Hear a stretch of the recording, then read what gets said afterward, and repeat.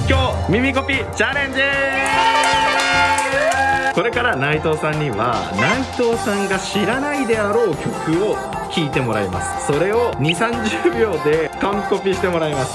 あのサビだけで大丈夫です。ピタッと弾いて、えー、もらうんですが曲名は明かしません。視聴者の皆さんにも明かしません。まあでも完コピできたら知ってる人はあこれ誰々のじゃんっていうのが分かるんですよ。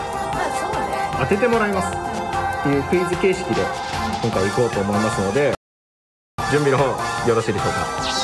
はいそれでは内藤さんは一体どこまでコピーすることができたのでしょうか？